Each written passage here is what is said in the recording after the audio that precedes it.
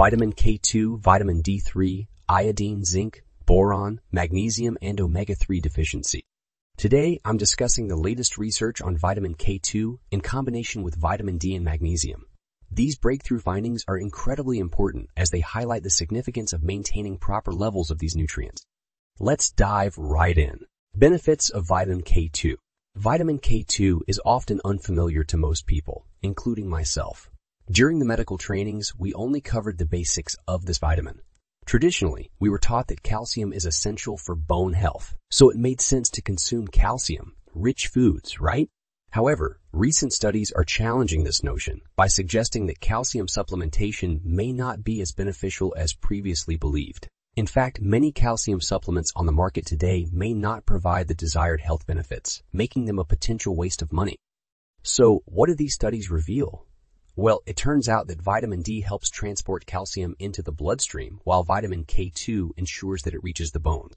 Vitamin K2 also plays a crucial role in strengthening muscles, regulating blood sugar levels, and preventing the accumulation of calcium in the walls of blood vessels, which can lead to thickening and hardening. And let's not forget about the role of magnesium, which complements these nutrients. In summary, the combination of vitamin D, vitamin 2, and magnesium offers a host of health benefits. Deficiency in vitamin D3. The primary factor in maintaining healthy levels of vitamin D3 is a well-balanced diet. Adequate exposure to sunlight and proper nutrition are key components in this regard.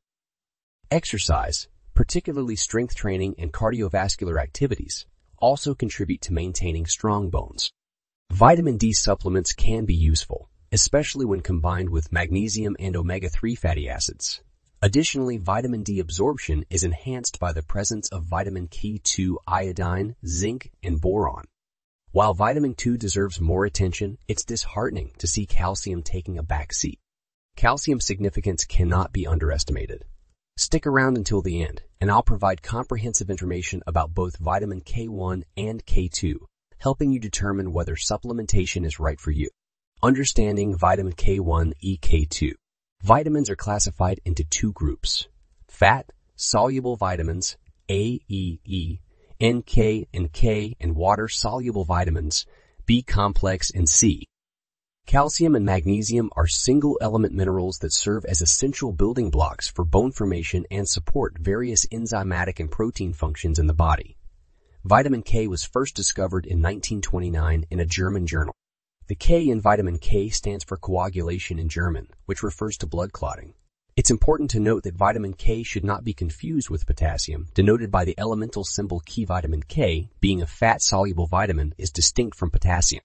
Moreover, there are three types of vitamin K, K1, phylloquinone, K2, menaquinone, and K3 menadione, and K3 menadione.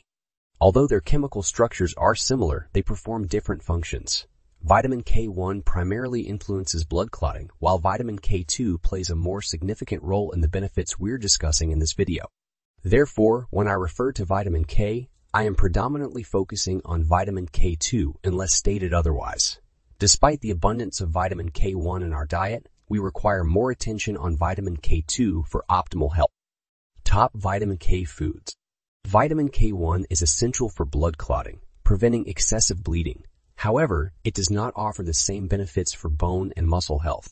We also saw a significant decrease in non-vertebral fractures by 77% and hip fractures by 81%.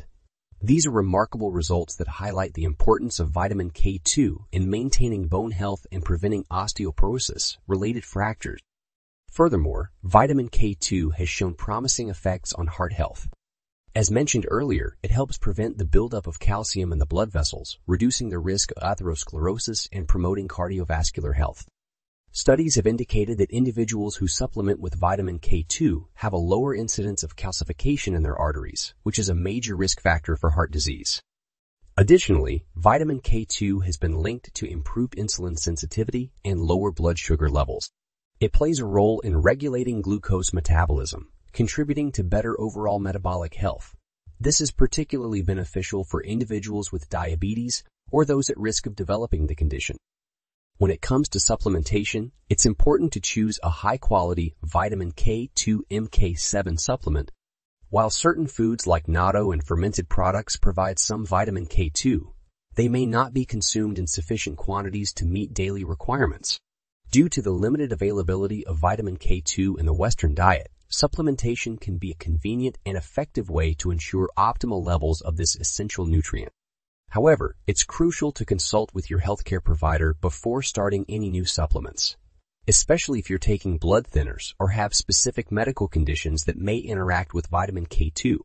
Your doctor can provide personalized guidance based on your individual health needs.